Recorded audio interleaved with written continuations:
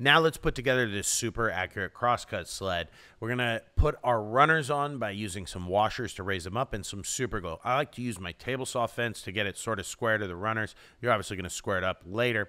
Let's add a chamfer to the fence so the dust doesn't collect and put in our T-track. Now we're gonna go ahead and screw in the runners, but you wanna make sure they don't go through to the base. And we're gonna chamfer those corners so it slides in easier and wax it so it moves nice and smoothly. Now to do this five cut method, we're only going to attach two screws, a pivot screw and one that we're only going to use that hole one time. We're going to run our five cut method using the free calculator over on our website input our values and you'll see we need to move it towards us 0.009. We're going to use a feeler gauge to do that.